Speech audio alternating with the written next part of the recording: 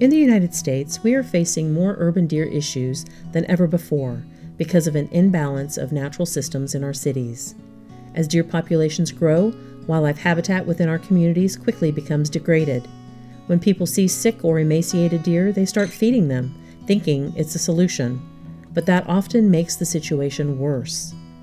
Overabundant deer cause problems like vehicle collisions, landscape damage, disease outbreaks, and impact native habitat that affect other wildlife too. Texas Parks and Wildlife Department can provide advice and permits, but communities will decide what actions to take and are responsible for any associated costs. It will take months, maybe even years, to get stakeholders to agree on goals and solutions because, with hundreds in a community, there are hundreds of opinions. To avoid conflict, communication and transparency is key. Remember to be realistic about what to expect and that ultimately, reducing deer herds requires combining multiple strategies. Feeding bans are the single most effective strategy at reducing deer conflicts. They are written and enforced at the municipal level. They prevent feeding, which deters concentrating deer and helps reduce vehicle collisions and disease transmission.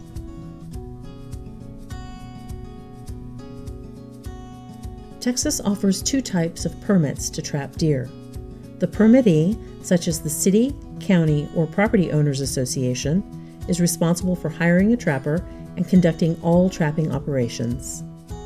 The Trap, Transport, and Transplant Permit, also known as a Triple T, authorizes deer to be moved to other properties with sufficient habitat.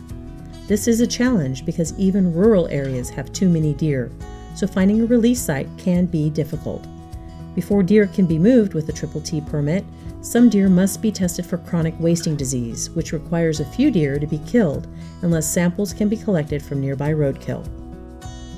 With a Trap, Transport, and Process Permit, or TTP, deer are trapped and euthanized, and the meat is donated to local food banks. Each of these trapping options can cost 300 to 800 per deer. Both permit applications must be signed by a city, county, or property owners association representative. Homeowners associations are not eligible to apply for these permits by themselves. Hunting has been used to manage populations for decades, and in some urban situations is still a viable option. Urban archery deer hunts can be conducted, or cities can hire a contractor to manage a hunting or sharpshooting program. This strategy can cost 200 to $400 per deer. The average fence doesn't keep deer out of an area since deer can jump a 6 foot fence. However, homeowners can put up 8 foot fencing or add an attractive 2 foot barrier to an existing 6 foot fence if allowed by their HOA.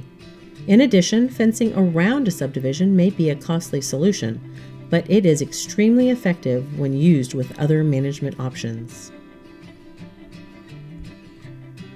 Sterilization or contraception for deer is not permissible in Texas by state law.